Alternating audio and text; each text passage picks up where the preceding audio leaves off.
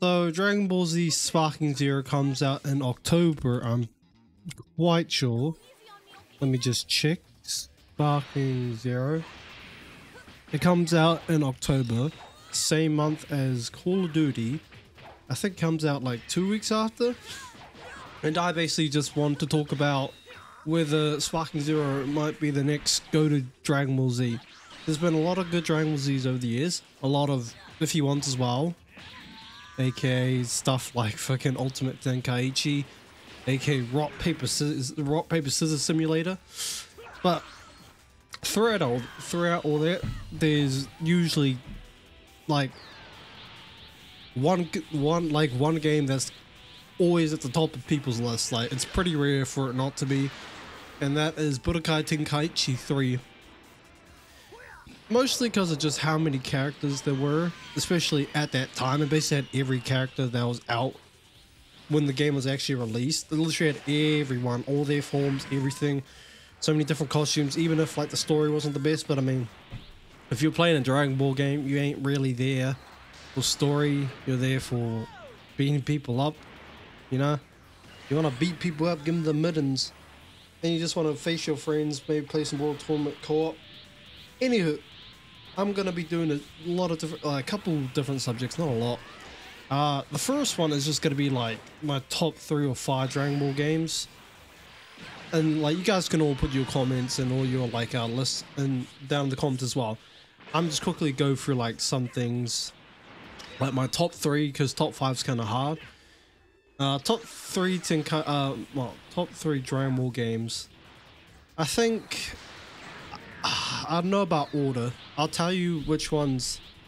Um, obviously, one of them is Budokai, uh, Budokai 3, not Budokai Tenkaichi 3, Budokai 3. I always played that as a kid. It's just memorable.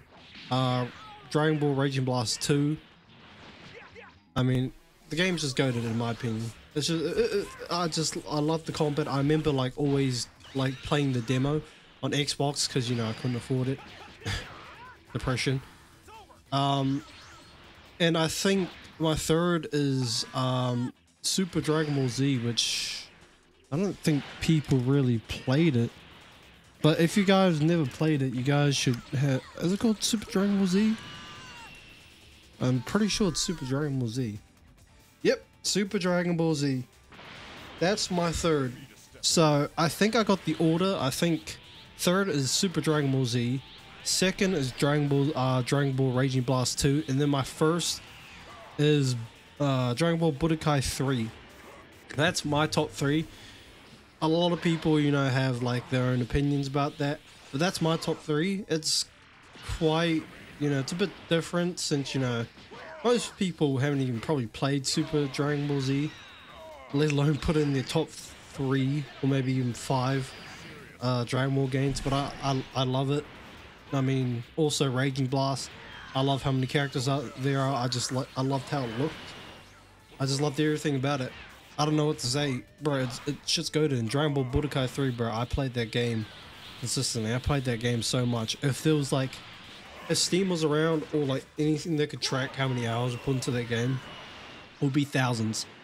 And on that topic as well, we're gonna we're gonna we, we, we, pretty sure on our little like Dragon Ball um, game quest that we're doing, starting with Dragon Ball Raging Blast.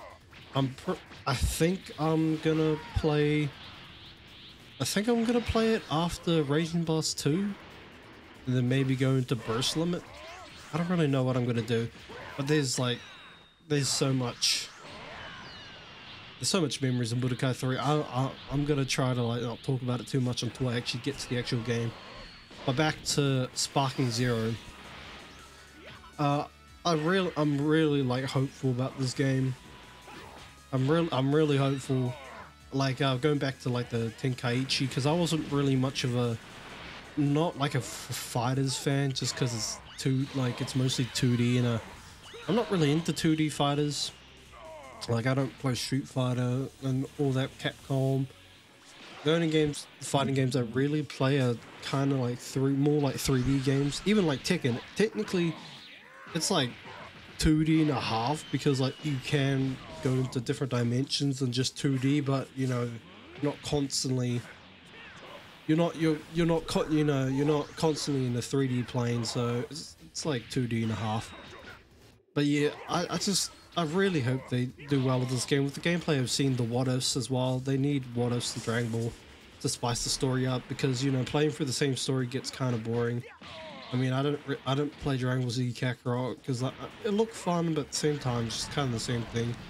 Dragon Ball Xenoverse I liked, but like after a while, like when two came out, I wasn't as interested because they were kind of similar. I mean, more characters and all that, but wasn't really my thing. Then FighterZ came out was my thing. Then the um, what was the game called? The one where like um, you try to run away from like Frieza, Cell, and all the main villains like Dragon Ball Seekers or something. That wasn't my thing as well, where you basically just play hide and seek against the main villains. Wasn't my thing either. I just like true, just true hands, bro. I just, I just love, I just love fucking just straight up fighting Dragon Ball games. It's good to finally come back to like a, you know, series that it's just straight hands basically. I hope there's, I mean, there's a lot of features I want in the game. Obviously, online play, co-op, I want, you know, world tournament. There's what else in the game. I need good character selection. Bro, I, I'm not gonna. Bro, I swear, they better not do that stupid ass like character thing where, like, instead of actually adding characters, they they just fill out fill out like the character roster with different like um forms of characters. Like it's just like Goku standard, and it has the Super Saiyan one, two, three, four. Don't do all that shit, bro. Just make it one and actually just fill out the roster. Do it like you did Budokai Tenkaichi 3. Don't make the fourth game like a disgrace to the third one. Because it's going to be sad if like I go into the game, I go to pick a character, and like 60 to 70% of the roster is literally just forms of like the same people. It's to be irritating. It's just to piss me off. Don't do that. Don't do that. I can't wait for online play as well. Just online. Hopefully, like you can do tournaments and all that, custom matches. You know, all the hopefully, like stuff like the supers are like um, because I mean you don't need the supers to be the most you know mind blowing thing, but I just want them to put a bit of like cinematic into them, maybe even finishes, stuff like that. I can't wait to see how the forms work out. I mean, I've seen the gameplay, but I mean, you can't always be, you can't be tricked by the trailers always because it's not always going to be exactly how trailers portray the game. So, you'll just, you just kind of, um, it might be a bit stupid just to believe that the creators are actually going to make everything like the trailer. Though I hope it is because the game looks beautiful. That's also another thing as well. Like going back to the old games, especially Budokai Tenkaichi 3 on an original PS2, you can definitely see the age. I know people sometimes say that, oh, like it still looks really good, but like in my opinion, I'm just like, nah, it's like. I know some other games on, on PS2 that look better than this. Like it was super pixely. Like, it's super pixely. Well, obviously on my like um emulator on uh, my PC it looks a lot better because I can upgrade like the graphics to 1080 and 4K and looks better. But on the actual native PS2, bruv, it's like 360p. Like I can't see this shit. I'm just really hoping they don't scuff this. Because this could be the next go to Dragon Ball Z. This could be the go. It just needs to add.